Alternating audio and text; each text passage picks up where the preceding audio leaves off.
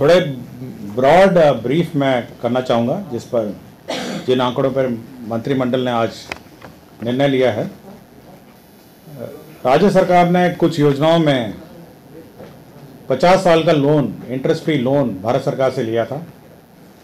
उस स्कीम का नाम था scheme for special assistance to capital state for capital investment 2022 and 23 आपको याद होगा कि माननीय वित्त मंत्री भारत सरकार ने अपने बजट भाषण में सभी राज्यों को एक करोड़ कैपिटल असिस्टेंस के रूप में ऋण देने की घोषणा की थी। और उसी के आलोक में बिहार को आठ हज़ार छियालीस करोड़ का अलोकेशन या क्रमांकन हुआ था। आठ हज़ार छियालीस करोड़ का। उस मद में अभी तक हम लोग को पहली किस्त के रूप में चार हज़ार उनतीस, four thousand twenty nine crore विमुक्त हुआ है। इसमें मुख्य रूप से जो योजनाएँ स्वीकृत हैं और जो रिलीजेस हुए हैं, मैं विभाग और पढ़ देता हूँ। एनर्जी ऊर्जा विभाग, जो वर्तमान में जो संचालित योजनाएँ हैं, आठ हज़ार तैतालीस एट फोर्टी थ्री करोड़ विमुक्त हुए हैं ऊर्जा विभाग के। पथ निर्माण विभाग के लिए नौ सौ उनतीस nine twenty nine nine hundred and twenty nine crore. Rural works department के लिए three eighty nine crore water resource department के लिए एक सौ नब्बे हेल्थ डिपार्टमेंट के लिए सात सौ छः साइंस एंड टेक्नोलॉजी डिपार्टमेंट के लिए दो सौ चौंतीस। और उद्योग विभाग के लिए विशेषकर, जिसके बारे में मैं विस्तृत से बताऊँगा, इसमें जितने भी औद्योगिक क्षेत्र हैं उनके विकास के लिए, दो किस्तों में आया है 502 करोड़ एक किस्त में और 232 करोड़ एक किस्त में कुल मिला के 735 करोड़ उद्योग विभाग को मिला है। जहाँ तक एक energy department road department rural department water resource department health department और साइंस एंड टेक्नोलॉजी डिपार्टमेंट है, ये सारी जो वर्तमान में चालू योजनाएँ हैं, जो भारत, बिहार सरकार ने प्रशासनिक स्वीकृति दी थी, और वर्तमान में संचालित हैं, उनके वित्त पोषण के लिए यह राशि इस्तेमाल होगी। बहुत सारे कॉन्ट्रैक्टर्स के, बहुत सारे हमारे संवेदक के पेमेंट्स रुके हुए थे। अब ये जो राशि है, इससे अब उनका भुगतान हो जाएगा। तो इसी के लिए आकस्मिकता निधि से, इसका बजट प्रावधान नहीं था क्योंकि बजट में ये प्रोविज़न नहीं था। ये घोषणा बजट बनने के बाद हुई थी। इसलिए आकस्मिकता निधि से यह राशि का प्रावधान किया गया है। जिसके बारे में विस्तृत में बताऊँगा।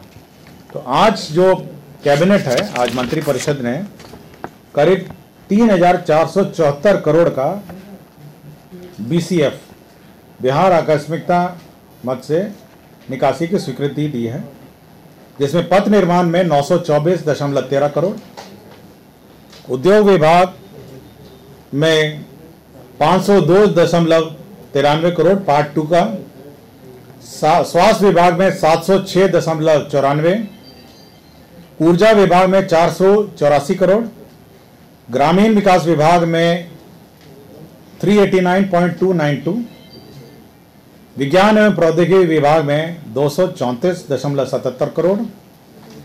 और साथ ही साथ आपदा प्रबंधन विभाग, जो वर्तमान में आपदा में राशि विमुक्त की जा रही है, उस, वो घट गई थी। उसमें 130 करोड़।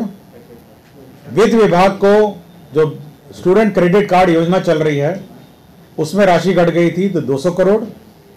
और उद्योग विभाग का पार्ट वन जो लोन है, दो सौ बत्तीस करोड़ तिरानवे लाख। तो तीन हज़ार चार सौ चौहत्तर दशमलव निन्यानवे बीस three four seven four point nine nine two zero crore का बिहार आकस्मिकता निधि से अग्रिम निकासी की स्वीकृति दी है। तो ये एक बहुत मैंने ये समेकित कर दिया है। आपको हर कैबिनेट नोट में अलग अलग मिलेगा, लेकिन लिखने के लिए आपको होगा कि कम से कम ये राशि बिहार आकस्मिकता निधि से निकासी की स्वीकृति दी है, जिसमें से विभिन्न योजनाओं के लिए राशि उपलब्ध होगी तो मैं संक्षेप में अपने कैबिनेट नोट में जाऊँगा इसे. इसमें आपको पता होगा, रबी विपणन मौसम 2023-24 में जो अधिप्राप्ति हेतु बिहार राज्य सहकारिता बैंक और राष्ट्रीय सहकारिता विकास निगम, नबार्ड एवं अन्य वित्तीय संस्थाओं ये 6000 करोड़ लोन लेने की स्वीकृति दी गई। आपको याद होगा कि हम प्रिक्योरमेंट आज के दिन में राज्य में शुरू हो गया है और प्रिक्योरमेंट के लिए राशि की आवश्यकता होती है।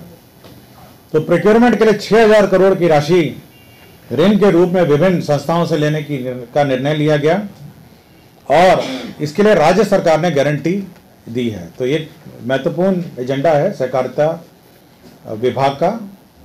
ये जो हमारे खरीफ मौसम में जो फ़सल का विपणन है और रबी मौसम के विपणन का है। क्षेत्र का विकास के लिए चार सौ पैंसठ दशमलव छियासी करोड़ का आकस्मिक निधि से ये निकासी के लिए स्वीकृति दी है। और इसमें करीब सत्रह योजनाएँ की स्वीकृति दी है इसमें। सत्रह योजना है। औद्योगिक क्षेत्र का विकास फतुआ का है। समस्तीपुर औद्योगिक क्षेत्र का है। इसमें मुरारपुर, दागोदरपुर, मुजफ्फरपुर का है। औद्योगिक क्षेत्र विकास बरियारपुर, मुजफ्फरपुर का है। पानापुर, मुजफ्फरपुर का है। बिशनपुर मुजफ्फरपुर का है। महाबल, मुजफ्फरपुर का है। Export promotion industrial park, Hajipur Hajipur Vaishali industrial area का है। औद्योगिक विकास केंद्र मरंगा का है। औद्योगिक क्षेत्र का विकास गुरारू का है, औद्योगिक क्षेत्र का विकास गया का है, औद्योगिक क्षेत्र विकास दोनार दरभंगा दोनार है दरभंगा में उसका है, नवानगर बक्सर का है, और आईटी इंक्यूबेशन सेंटर पटना का है, पाटलिपुत्र औद्योगिक क्षेत्र में, और बीएसएफसी भवन, बिहार, बीएसएफसी का जो पटना में भवन है उसमें स्टार्टअप हब बन रहा है। स्टार्टअप व्यापार केंद्र स्टार्टअप हब बन रहा है। और बड़ी राशि है उसमें। उनतीस करोड़ अड़तीस लाख की राशि है। बहुत बड़ा मेजर स्टार्टअप हब बन रहा है। इन्वेस्टमेंट प्रमोशन कॉम्प्लेक्स पटना में पाँच करोड़ सैंतालीस का है।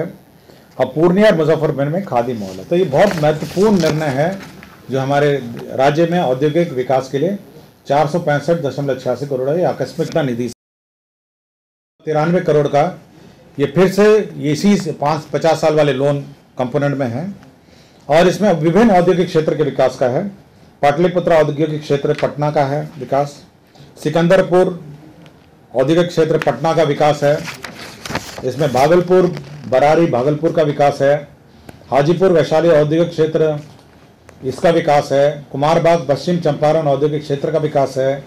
बीटा फ़ेज़ टू औद्योगिक क्षेत्र का विकास है। मुजफ्फरपुर औद्योगिक क्षेत्र का विकास है।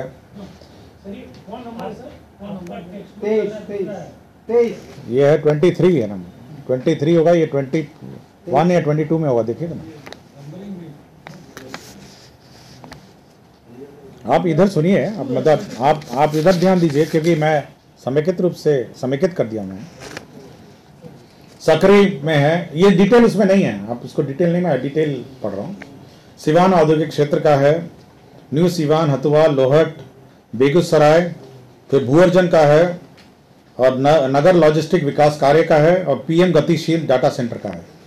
तो ये औद्योगिक क्षेत्र के विकास का है जिसमें उसके बाउंड्री हैं उसके रोड हैं उसके नाले हैं जो विभिन्न औद्योगिक क्षेत्र के विकास के लिए ये राशि आवंटित की गई है। चल रहे हैं। उसके लिए तीन सौ three eighty nine point two nine two crore का ये बीसीएफ से निकासी हुई का स्वीकृति दिया है जिसके बारे में मैंने कहा। जल संसाधन विभाग, विज्ञान एवं प्रौद्योगिक विभाग को जो स्कीम है, उसके अंतर्गत 234.77 करोड़ बिहार आकस्मिकता निधि से निकासी की स्वीकृति दी है, जिसके बारे में मैंने कहा। ऊर्जा विभाग को 484 करोड़ की अग्रिम निकासी की स्वीकृति दी है बीसीएफ ने, जिसके बारे में मैंने कहा। स्वास्थ्य विभाग को 706 करोड़ चौरानवे लाख, ये अग्रिम निकासी की स्वीकृति दी है यह भी उसी का पाठ है। पथ निर्माण विभाग को 9 अरब 24 करोड़ 13 लाख रुपए 924 करोड़ 13 लाख रुपए अग्रिम निकासी की स्वीकृति दी है। तो ये आपदा प्रबंधन विभाग को 130 करोड़ जो अनियमित अल्प वर्षापात के कारण उत्पन्न सुखाड़ के परिप्रेक्ष्य में जो विशेष सहायता दी जा रही है, उसके अंतर्गत 130 करोड़ अग्रिम निकासी की स्वीकृति दी गई है। और वित्त विभाग को राज्य शिक्षा वित्त निगम जो स्टूडेंट क्रेडिट कार्ड चलाता है, उसको 200 करोड़ की अग्रिम निकासी की स्वीकृति दी है। तो ये हैं थे आपके जो BCF जो बिहार कंटेजेंसी फंड से निकासी है, और जिसकी कुल राशि तीन हज़ार चार सौ चौहत्तर करोड़ निन्यानवे लाख बीस हज़ार रुपये है। इसका मैंने ब्रेकअप दिया है। मेरे ख्याल से सबको ये डिटेल बहुत स्पष्ट होगा।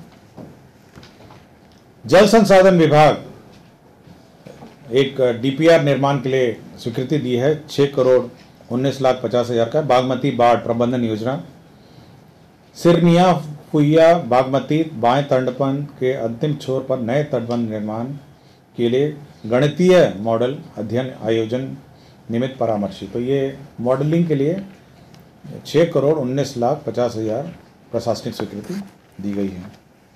गृह विभाग ने सतहत्तर अग्नि संवेदनशील थानों के लिए प्रथम चरण में एक एक अदद बड़ी अग्निशामन वाहन, जो बड़ा आपका अग्निशामन वाहन है, सतहत्तर other water tender 19 type 19 ton का जो बड़ा ट्रक होता है type B water tender 5000 litre का फुली फैब्रिकेटेड 46 करोड़ 20 लाख रुपए की प्रशासनिक स्वीकृति दी है। तो सतहत्तर थानों में नए हमारे वो fire fighting equipment fire fighting गाड़ियाँ रखी जाएँगी।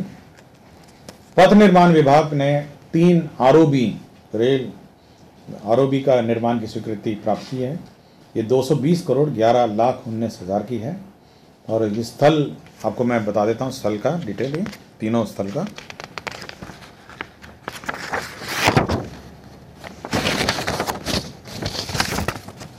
पहला है पूर्वी चंपारण में है। ये जीवधारा और बापू धाम मोतिहारी रेलवे स्टेशनों के बीच का है। दूसरा है सारण में है। ये खैरा पटेड़ी रेलवे स्टेशन के बीच स्थित है। दरभंगा है, लहरिया सराय, दरभंगा रेलवे स्टेशनों के बीच है।